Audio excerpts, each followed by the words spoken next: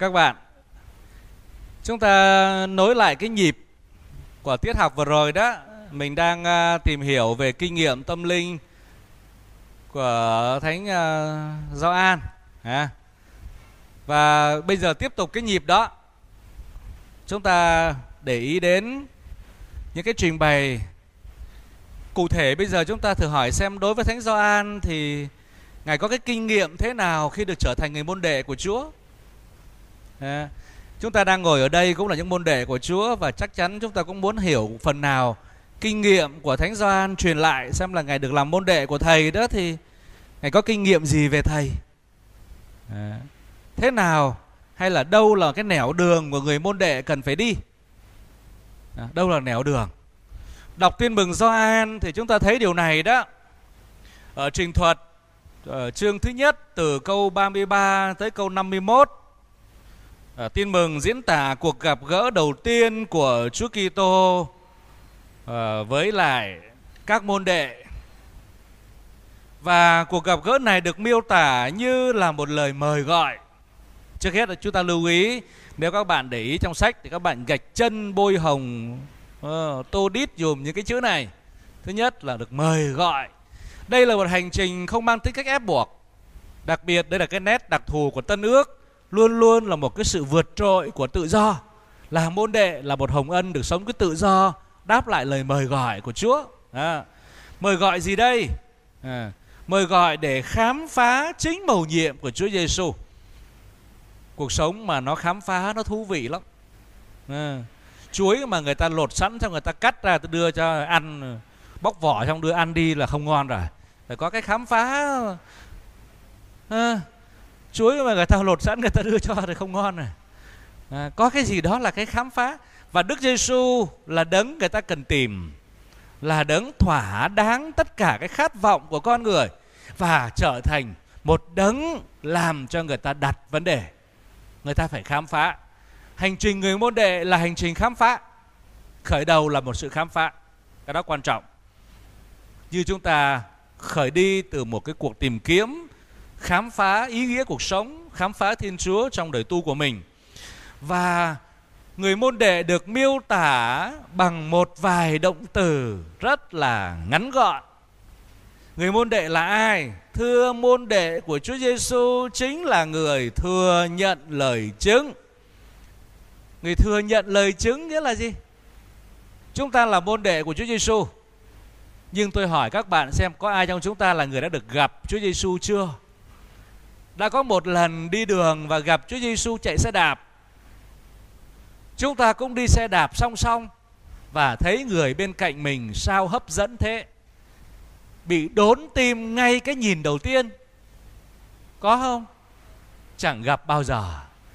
Không ai trong chúng ta có kinh nghiệm gặp một Đức Giêsu bằng xương, bằng thịt hết Vậy thì tại sao chúng ta vẫn tin? Chúng ta tin vào lời chứng. Lời chứng này ở đâu vậy? Lời chứng của hội thánh. Mà hội thánh thì có tính tông truyền, đón nhận lời chứng của các tông đồ.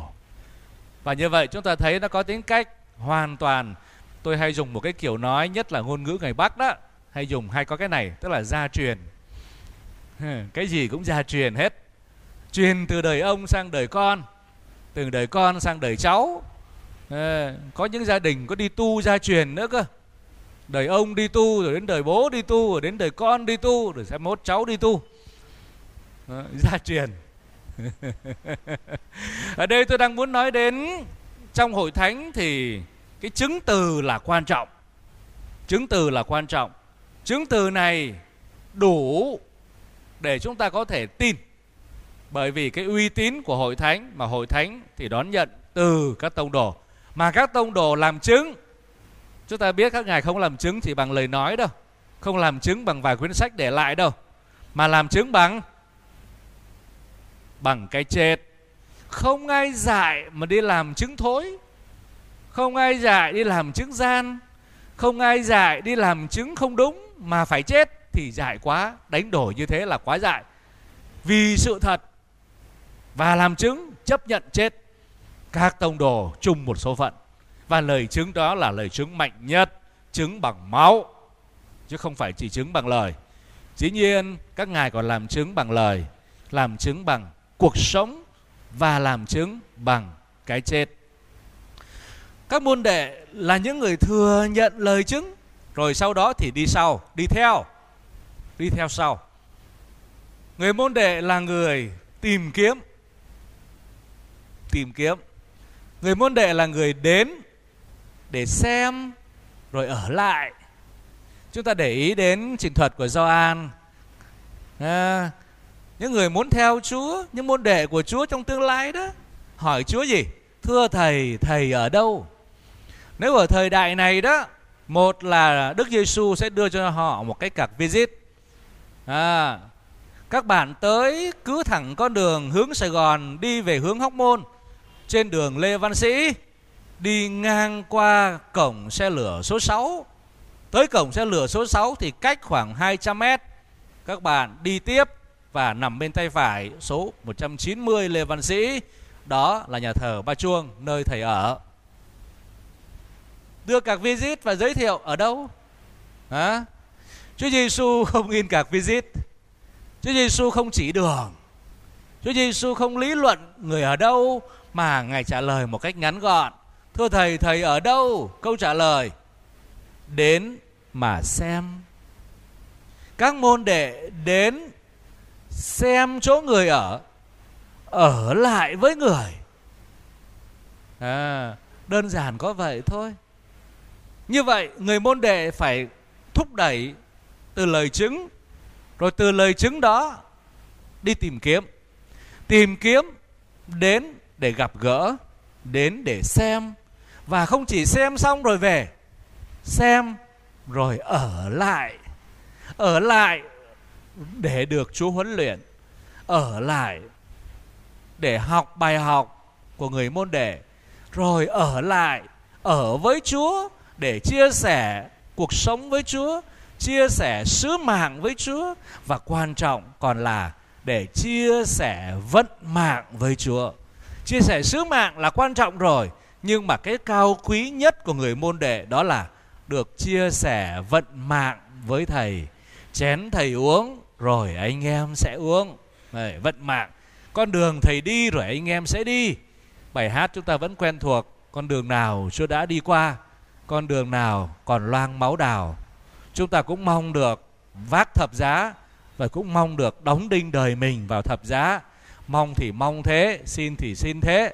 Nhưng một khi thập giá được gửi đến thì lại tìm cách thoát thân. Được, chung chia vận mạng với thầy. Nói như vậy có vẻ hơi triết học. Nói cho nó dễ hiểu, thầy chết thì trò cũng chết. Chết như thầy, đó là cái chết đáng ước ao. Chết như thầy, đó là đáng chết. Một cuộc sống mà được như thế thì quả là hạnh phúc. Chết như thế là đáng đáng chết. Và một đời sống bước theo thầy như thế mà được chết như thầy, thì chết như thế được gọi là đáng đáng đời. Đáng đời không? Đáng một đời để sống còn gì, ha? Tôi nói tếu nha, các bạn thấy ngôn ngữ tiếng việt của chúng ta, ai mà bảo đáng đời đó là một lời nguyền rủa đó. Thằng đó đáng chết thì cũng là một lời nguyền rủa. Thế ở đây chúng ta nói theo một nghĩa tích cực. Chán ghê lắm. Nói đùa mà phải giải thích, chán ghê. lắm rồi thế bây giờ chúng ta tiếp tục cái tư tưởng ở đây. Hình ảnh người môn đệ được thánh Phò, thánh Gioan phát hòa đó là người nghe theo lời chứng tìm kiếm xem ở lại. Và sau đó thì trở thành chứng nhân lại tiếp tục trở thành lời chứng. Tôi nói tếu không hoàn toàn giống nhưng mà đại khái như thế này. Giống như kiểu phương pháp bán hàng đa cấp. Bán hàng đa cấp là cái gì? Ta được uh, người ta đến người ta quảng cáo rồi mình trở thành thành viên trở thành thành viên được tham dự vào cái mạng lưới bán hàng ấy. Rồi đến lúc ta phát hiện mình bị mình bị lừa nhưng mà tiền thì mất thật rồi bây giờ muốn lấy lại thì làm sao? Ta tiếp tục đi đi lừa người khác. Trở thành một cái mạng lưới lừa người này lừa người kia. À, giống như chuyện của trạng quỳnh đó mà. À, chuyện trạng quỳnh đi ra nhìn và quay trở lại đừng nói gì cả. Mình bị lừa mình nói tức lắm không nói. Để thằng khác lại tiếp tục bị lừa. Lại một người nữa giống như tôi. Ở đây tôi nói tếu cho các bạn một chút. Các bạn à, gọi là uh, rút tiền nó ra. Cái điều một khi ở với Chúa khi đã đón nhận được lời chứng rồi tìm đến xem ở lại thì đến phần mình lại trở thành lời chứng. Đây là một cái nguyên tắc rất là hay. Các bạn thấy thế này này một cái điều tốt đẹp mà chúng ta có hay là một niềm vui chúng ta có thường không thể nào giữ được. Vui thế nào cũng kể. Tôi đố các bạn có cái bằng tiến sĩ mà các bạn giấu được đấy. Thế nào cũng có lúc kể à? Tôi coi cái chương trình à, gọi là gì đấy nhỉ? Ờ, không biết là chính xác có phải là vợ cái gì mà giống như là môi giới cho nhau ở trên tivi đó để mà người này gặp người kia đó quyền được yêu à? Hay là bạn muốn hẹn hò? Ừ hình như thế. Thế uh, giới thiệu như thế này. Đầu tiên khi người con trai xuất hiện xin uh, bạn nói bạn làm bằng gì đi? Bảo già em tên là văn. Tên đầy đủ là phạm quốc văn. Và bạn đang làm nghề gì? Bảo già em đang làm nghề hốt rác. Đấy. Khi mà giới thiệu như thế thì bên kia con gái cô con gái là là gì? Nhún vai liền chết bấu. Bây giờ lại quen một cái anh chàng hốt rác thế này thì hốt rác thì không phải là điều xấu đồ sai nhưng mà không biết tương lai của mình có xa hơn được cái xe rác của anh hay không? Thế nhưng mà anh này có tính dí dỏm. Anh ta bảo làm nghề hốt rác nhưng mà thế là cũng cái anh quyền linh anh cũng tế nhị bảo thế nhưng mà anh làm công ty riêng. Anh làm cho công ty hay là anh làm cá nhân? Cái bảo hốt rác thì nó kỳ quá bảo dạ vâng em làm cho công ty. Đó, em là kỹ sư về à, gì đó vệ sinh môi trường hay là kỹ sư về, à, về môi trường đó. Thì vai trò kỹ sư nó khác đấy chứ. Đi gom rác nhưng mà cũng là kỹ sư nó khác với cái anh đẩy xe rác chứ. Giá như mà giấu luôn nó đi cho đến khi quen cô kia rồi mới biết anh ta là kỹ sư thì có lẽ nhưng mà đời đâu có giấu được à, đừng hỏi tôi nhé tôi khoe cái bằng tôi bây giờ đó. Có nhiều người cứ hỏi cha có bằng gì? Không có cái bằng gì cả thực sự mà nói nhưng mà thú thật thì cũng phải khoe, chúa ban cho tôi được một cái bằng mà có thể có nhiều người muốn không có. Đó là cái bằng lòng. Bằng lòng. Em bằng lòng với những gì em đang có. Em hạnh phúc vì những chuyện em đang có. Cái bằng lòng khó lắm nha các bạn, không có trường nào cấp đâu á. Đừng tưởng là mình có cái bằng nọ, bằng kia mà mình bằng lòng đâu. Phải bằng lòng. Cái đấy là cái ơn và cái bằng đó tôi nghĩ là các bạn nên có và cố gắng tìm. Thôi trở lại bài ở đây tôi đang muốn nói diễn tả cái gọi là niềm vui thì khó mà giữ được. Có một cái học uh, học vị khó mà giấu được. À, giống như là cái câu chuyện vui đó mà. Không biết các bạn có coi clip không? Các bạn chuyện clip hài đó. Là cái kim bọc lâu ở trong túi nó lại lòi lòi ra.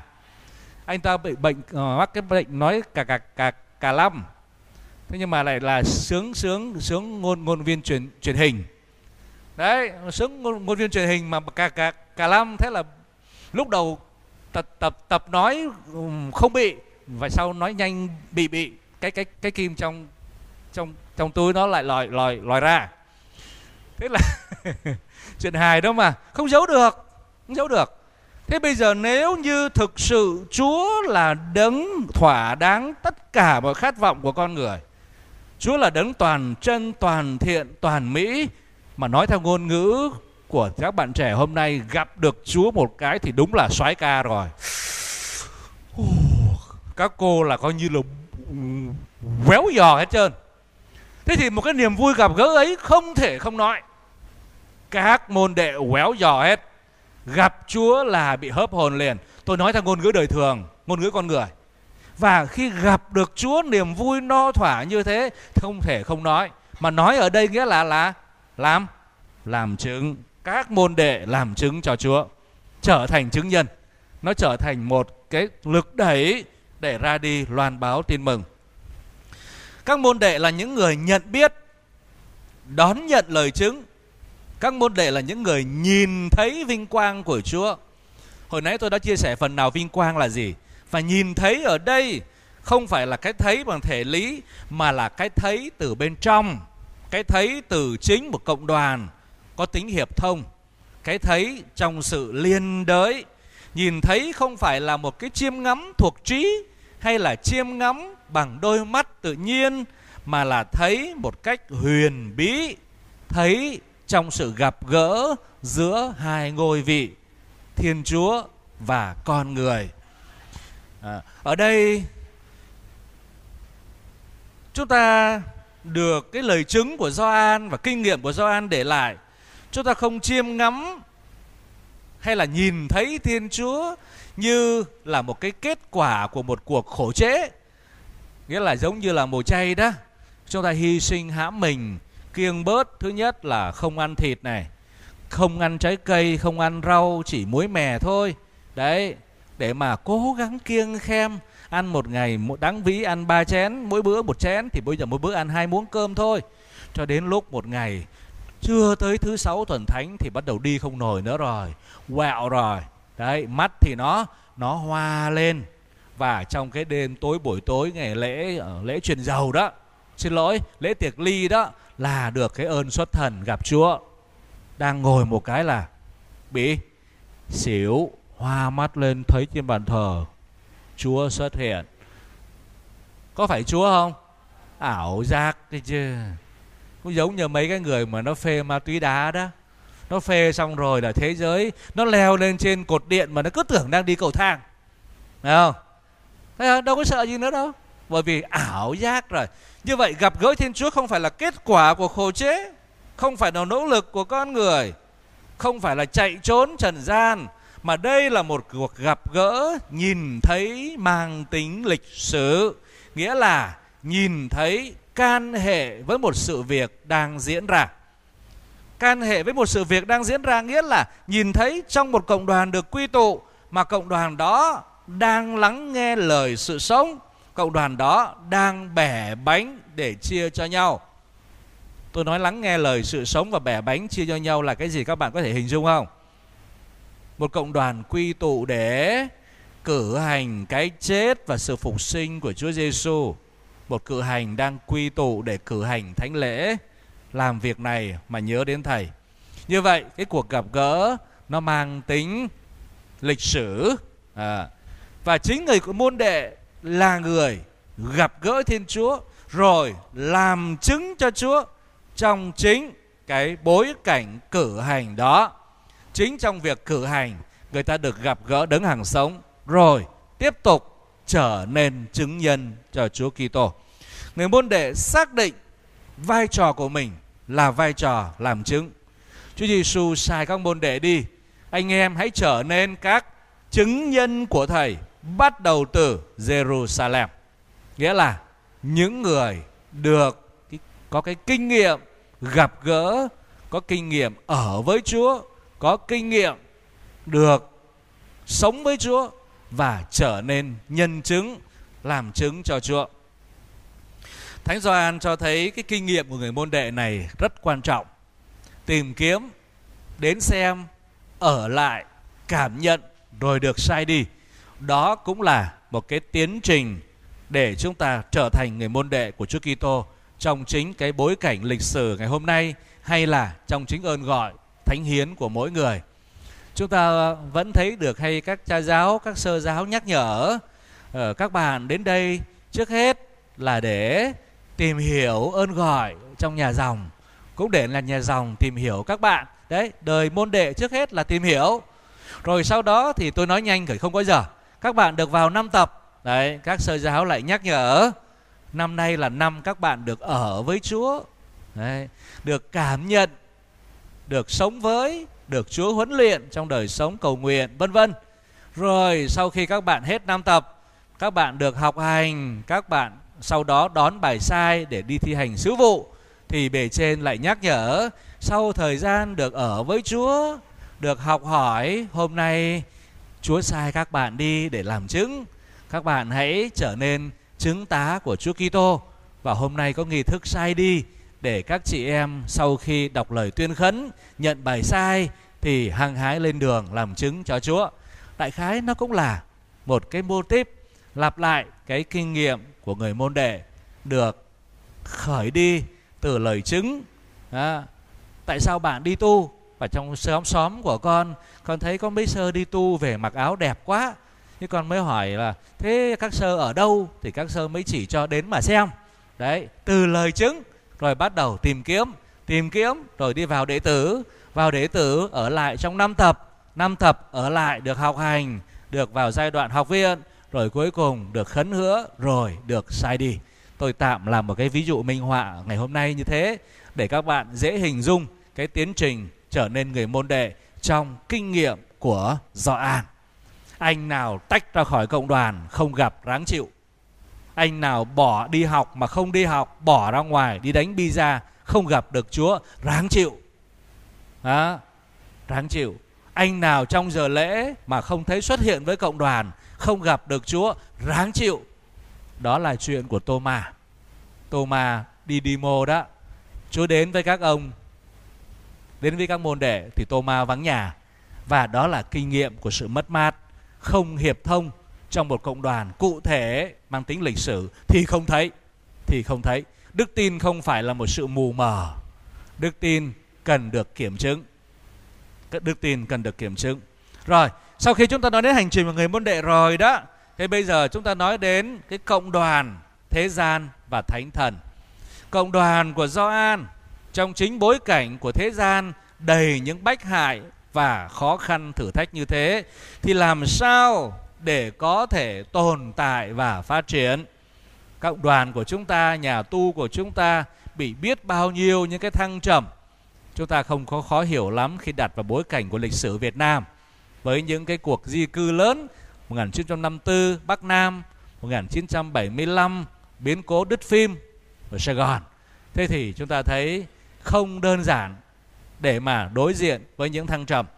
Ờ, ở đây chúng ta nói về cái diễn từ từ biệt từ chương 13 đến 17 trong tin mừng Gioan À, ờ, Đức Giêsu về trời không có nghĩa là bái bai trần gian. Về trời không có nghĩa là đứt đoạn nghĩa là từ nay hai bên biền biệt bên đấy có muốn sang bên này cũng không sang được không phải thế. Đức Giêsu về trời không có nghĩa là nói lời từ biệt mà là ngài hiện diện một cách khác trong hội thánh. Và dĩ nhiên chúng ta thấy khi Chúa Giêsu còn tại thế ngài đã bị trao nộp, bị đóng đinh, bị giết chết, nghĩa là trở thành một sự thù nghịch. Thì khi hội thánh hình thành và phát triển, môn đệ không hơn thầy. Thế gian cũng đặt hội thánh trong cái thế thù nghịch đó. Làm thế nào trong bối cảnh thù nghịch, trong bối cảnh bách hại mà có thể tồn tại được? Như chúng ta thấy cái sự bách hại đó trong tin mừng Chúa nói rất rõ rồi thế gian sẽ ghét anh em vì anh em không thuộc về thế gian vì anh em là môn đệ của thầy và cái ghét đó như thế nào rất rõ khi chúng ta đọc Khải Huyền. Đó, giáo hội non trẻ có nguy cơ bị đè bẹp. Còn mãng xà khổng lồ đến độ mà nó có thể quấn cả một phần ba tinh tú ném xuống đất thì một bên là hình ảnh của người phụ nữ bụng mang dạ chữa, chân yếu tay mềm, làm sao có thể đứng vững. Ấy vậy mà thực thể chúng ta đang ngồi ở thế kỷ 21 nhìn về thế kỷ đầu tiên. Nếu chúng ta đặt mình trong bối cảnh của lịch sử liệu chúng ta có tin nổi hội thánh tồn tại không? Chắc là không. Hội thánh non yếu như thế nhưng sức mạnh khủng khủng khiếp như thế liệu hội thánh có đứng vững không? Không ai có câu trả lời thánh Gioan cho chúng ta một viễn tượng về sự chiến thắng tất yếu không phải của con mãng xà mà là của người nữ. Người nữ đó là ai? Hội thánh. Hội thánh vẫn tồn tại cho đến ngày hôm nay, cho dù vẫn còn đó những khó khăn và bách hại. Và càng bách hại, càng nhiều người đổ máu, thì hội thánh lại càng trở nên mạnh mẽ. Máu của các vị tử đạo lại trở thành cái chất xúc tác làm cho hạt giống đức tin lại đâm chồi nảy lộc xã hội việt nam vững mạnh nhờ máu của các thánh anh hùng không phải chỉ 117 vị thánh cộng với thánh An, à, chân phước Andre Phú Yên mà ở đây còn cả hàng ngàn hàng ngàn các bậc anh hùng đã đổ máu đào để làm chứng trên quê hương đất nước của chúng ta. Tôi lấy vinh họa đó để cho thấy hội thánh mạnh mẽ nhờ đâu? Thưa, không phải nhờ sức riêng. Không phải nhờ sức riêng. Cộng đoàn của Gioan có thể chiến thắng, không phải nhờ sức riêng. Nhờ đâu? nhờ sức mạnh của thánh thần chính thánh thần là ngọn lửa đầy tràn sức sống trong hội thánh và làm cho hội thánh kiên cường anh em đừng sợ phải nói gì chính thánh thần sẽ nói trong anh em trường hợp của các vị anh hùng tuấn giáo là một ví dụ sống động và điển hình điển hình. Đó. Các ngài can đảm hiến dâng mạng sống.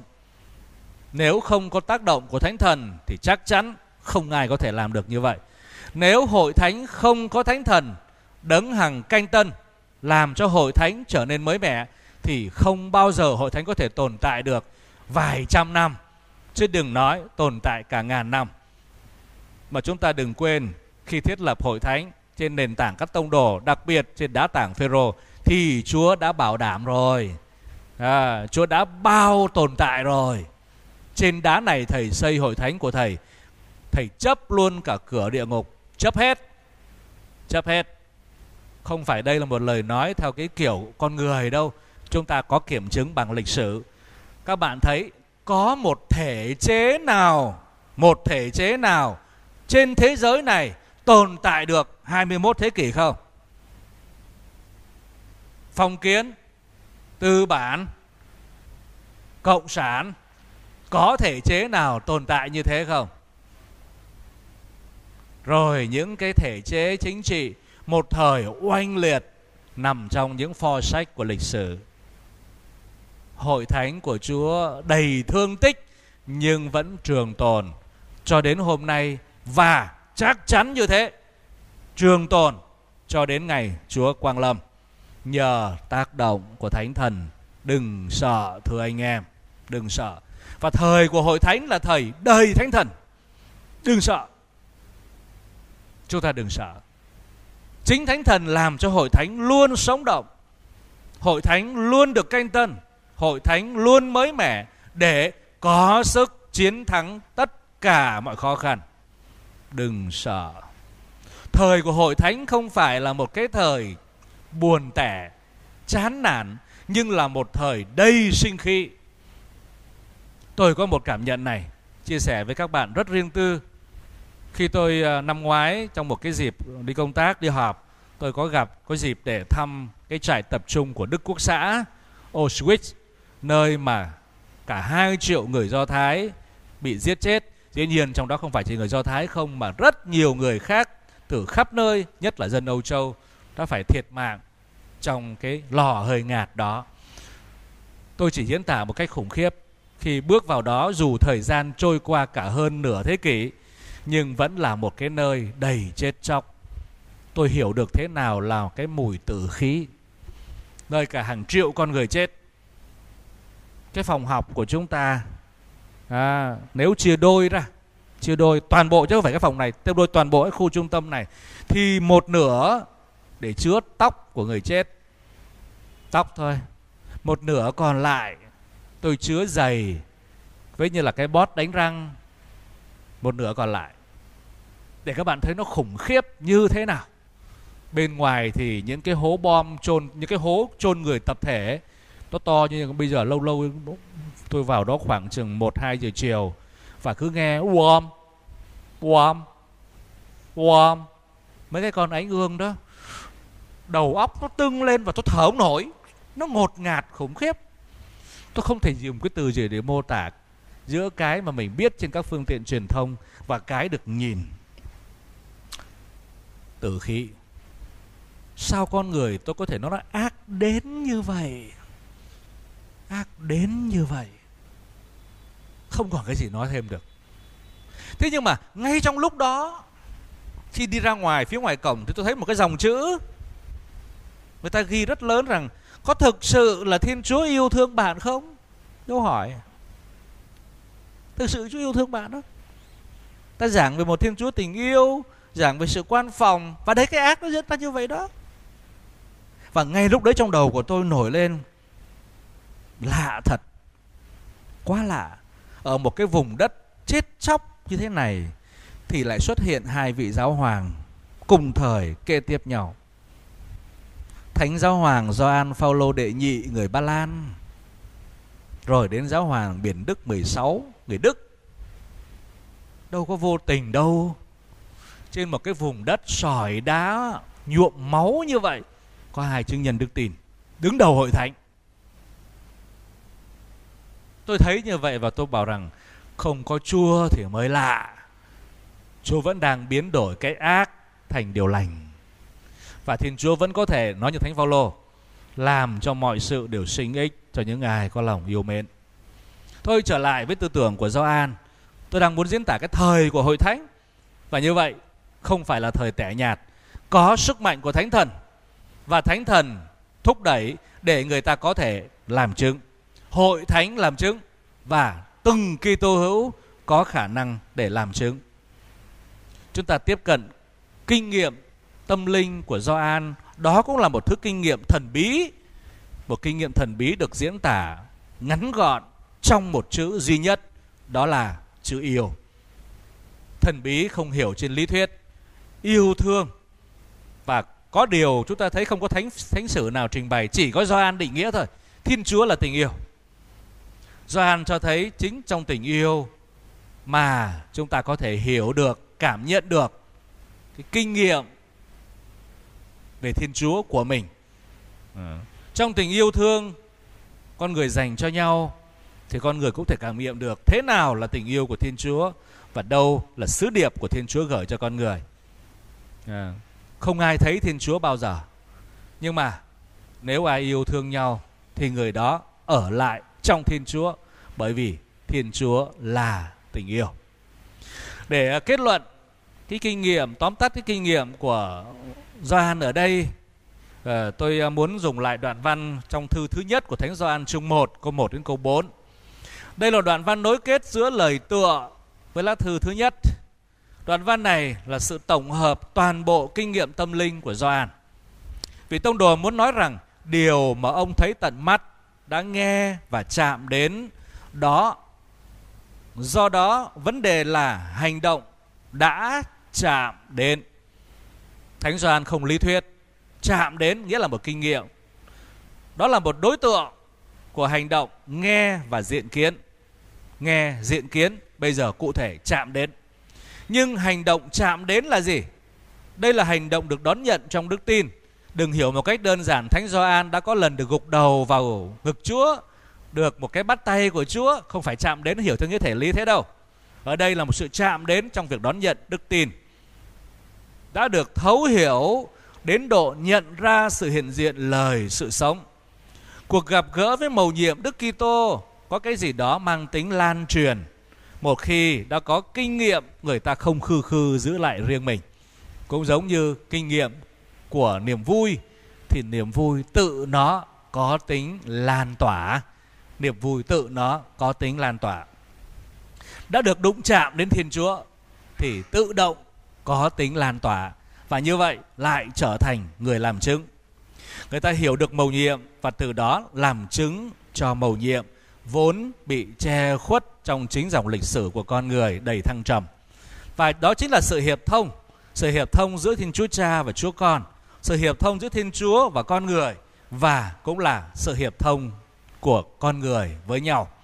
Đó chính là mầu nhiệm của Thiên Chúa và cũng là mầu nhiệm của con người, vừa là thần học vừa là nhân học.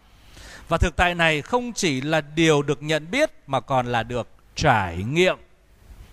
Đây không chỉ là một niềm hy vọng trong tương lai mà là một thực tại đã có đó và được nắm bắt. Toàn bộ thực tại ấy được gói gọn trong một lối diễn tả rất do an. Sự sống đời đời, sự sống đời đời ấy vẫn hướng về Chúa Cha và nay đã được tỏ bày cho chúng tôi. Sự sống đời đời không còn là điều gì bí ẩn nhưng đã được tỏ ra và Gioan đã có kinh nghiệm đó trong sự gặp gỡ, trong việc ở lại, trong việc trở nên chứng từ, chứng nhân cho Chúa Kitô. Kính chúc các bạn đặc biệt trong cái tuần thánh này cũng có được cái cảm nhận sống động về Thiên Chúa, đặc biệt về tình yêu của người ngang qua mầu nhiệm thập giá. Chúng ta kết thúc ở đây. Cảm ơn các bạn.